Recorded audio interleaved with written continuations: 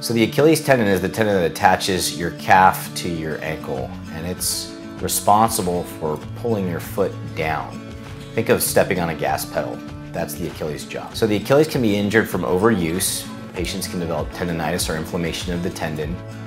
Patients can tear the muscle that attaches to the tendon and then patients can tear the actual tendon itself and then on occasion the tendon can be torn from the bone. Typically the Achilles tendon is ruptured from explosive activity like jumping, cutting, or pivoting.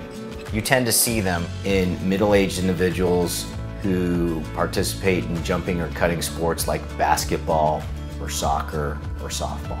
So Achilles injuries can be treated both surgically and non-surgically.